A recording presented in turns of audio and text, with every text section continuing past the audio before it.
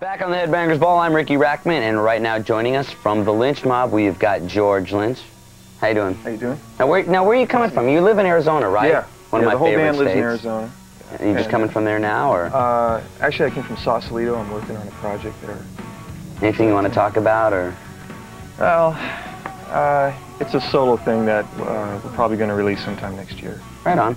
Now, a little bit about the Lynch Mob. I know you've always, you've gone through like some changes. I mean, because you used to play with Dokken, then you broke free from Dokken to do the Lynch Mob, and now to make another change, you've made some changes in your new Lynch Mob lineup. Right. Um, well, when we came out with the first Lynch Mob record, it was a real departure from the Dokken thing, the formula that Dokken had established in the 80s. And uh, a lot of people were disappointed with it.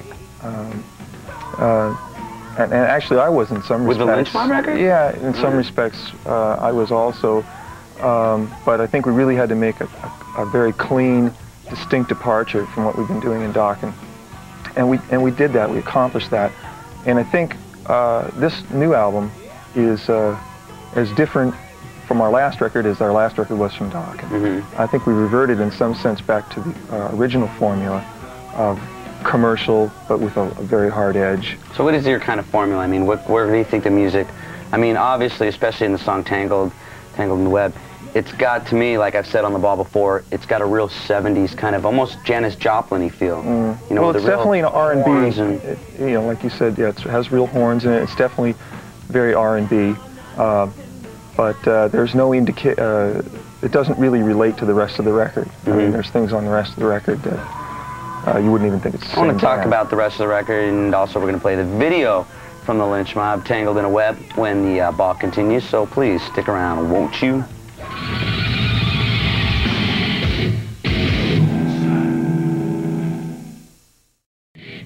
Here with George Lynch from the Lynch Mob, and might also point out that George Lynch was a member of Jani Lane's softball team, the team that my team beat last Sunday. You should tell them the story about Huh? that, too. Story as we want. There's La- nothing well, else well, to no, talk about. Last inning, two outs, two men on, we're behind one, We decided to make the Who game a seven-inning game, two strikes, and I flew out. Because you kept heckling me. as I should. Wouldn't leave me alone. Let's talk a little bit about the record rather than talk about my team beating his. Um, you got a new singer in the band. How did you get this new guy? He's got a great Robert voice. Mason, Great he, voice. he tracked us down. He says, listen, man, I got to be the singer in your band. Uh, he knew he was right for the group, flew himself out. Um, Where's he from? he's from from New York. And uh, so now we got two East Coasters and two West Coasters the band, which makes a nice balance. But uh, he's very much the opposite of our last singer. He's uh, very dedicated, uh, has a lot of confidence in, in his abilities, and uh, can de- definitely take control of an audience. One thing I want to mention because I'm here playing in the background right now. You did "Tie Your Mother Down," which is a classic Queen song. Did you kind of do that after the fact of Well, that was definitely done. passing away? Or? That was definitely done posthumously. Mhm. uh, and, and I'm a little embarrassed about having the song out at this point because it's uh, it's almost like we're capitalizing on the But event. everybody listened to Queen. I mean, Yeah, but I don't want anybody to think that wow, Freddie died. Let's do that song. right? and It'll be You did it because you dig Queen. Yeah, and and actually it wasn't my favorite song to do. It was a, we picked it by consensus, along with our uh, producer Keith Olson, who thought it was very commercially viable, had hook value. I, I, I'm more into the more obscure Queen stuff. I wanted to do Tenement Funster or, Mhm. or I'm in love with my car, the songs that uh, Taylor sang. But uh, then what's the point of doing a cover? You know, Right. if it's a, if it's uh, so obscure. So okay, we're going to talk a little bit about the album. I want to talk a little bit about the live show. But right now, we're going to be playing the video from you guys, which is the latest from the Lynch Mob. And why don't you go ahead and intro it? All right, it's Tangled in the Web. That was Tangled in a Web from the Lynch Mob, and we're here with George Lynch. And one thing that I want to mention, the first time I heard the song, something that really stood out was that it's got real horns. Because I Mhm. hate sometimes you hear songs from band that they put these little horns in, and you can kind of tell that it's like Yeah. synthesized on computer or whatever. And I mean, those, that's some, I like the horns in We originally had synth horns on there just to see if it worked, and you know, I, I mean, I don't know the difference. Uh-huh.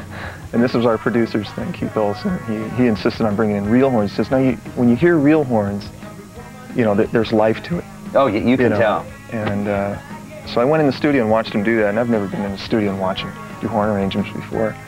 It was pretty hair-raising, because these guys were so cool and so capable. Now, who They just wanted to blow over the whole track, Uh-huh. you know. we give them these three little three note parts to do. And Now, who wrote that song? Well, that song was written like most of our songs. I come up with all the music, and then we all sit down and collaborate on the lyrics. So it's pretty wild melodies. to hear the song that you wrote just being added, made this much huger with real horns and stuff like that. It took a, a way different direction than the way I envisioned it.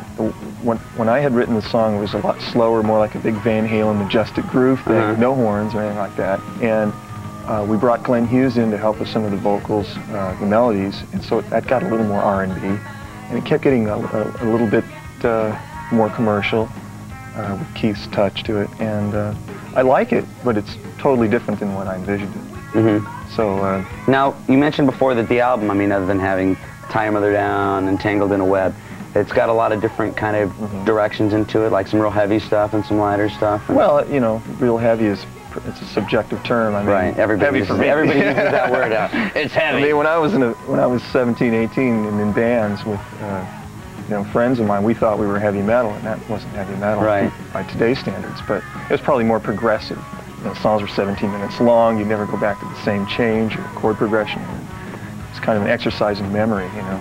But um, yeah, there is stuff that's that's different. You know, we.